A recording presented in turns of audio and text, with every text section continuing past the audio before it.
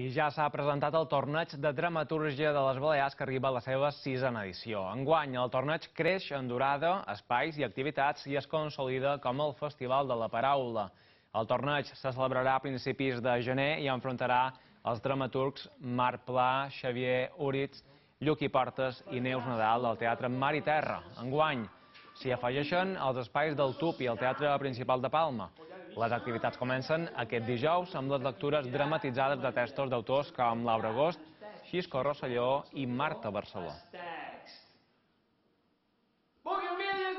Primer hi hauria d'haver una formació, després espais d'experimentació, després consolidació i després fem una festa. Per tant, el torneig era la festa. I ens feia falta tot l'altre. A poc a poquet anam construint, sense perdre la mateixa idea, anam construint tot això.